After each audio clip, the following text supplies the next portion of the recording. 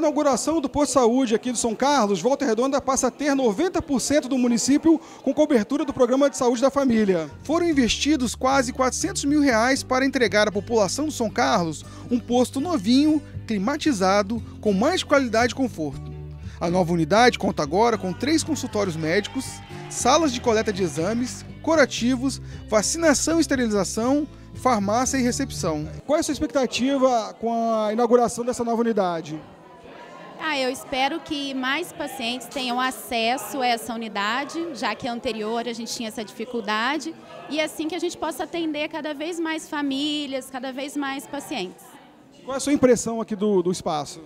Nossa, eu achei que ficou muito bonito, ficou arejado, ficou muito bom. Eu acho que, inclusive, os atendimentos vão aumentar por conta disso, né? Porque é um lugar mais acolhedor, é um lugar mais bonito.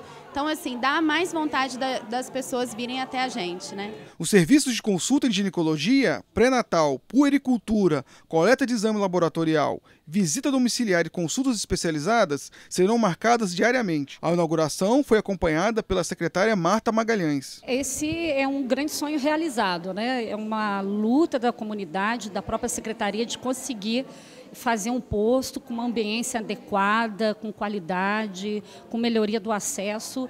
E essa inauguração é o final dessa história, né? dessa história bem sucedida. O São Carlos nunca deixou de ser atendido, né? nós tínhamos uma unidade aqui bem perto desse espaço, mas funcionando em instalações muito aquém da necessidade da população.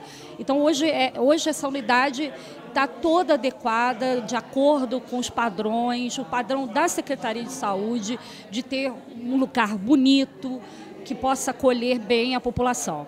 O prefeito Neto destacou a importância do novo posto de saúde e falou da homenagem ao antigo morador Satiro Vicente Pereira, que nomeia a unidade. É, a gente vê no rosto das pessoas a alegria, né? E de fato o padrão ficou excelente. O povo do São Carlos merece né, um espaço como esse.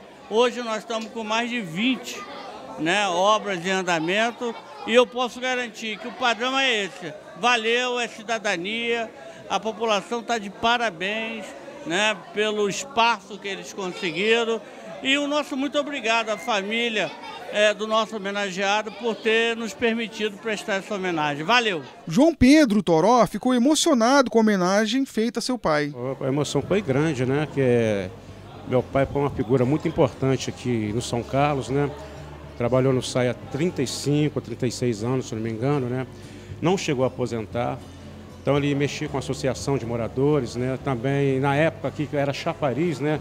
Não existia água no, no, no, no local. Então ele levantava quatro, duas horas da manhã para essa, é, no caso aí, a, a, a, população pegar água, né? Então eram três chafariz. Então ele abria de um lado, fechava do outro, né? Até o SAI colocar a instalação né, de água aqui em cima no São Carlos. Então, a, a emoção é grande para mim, não só para mim, né, para a comunidade, a família, né?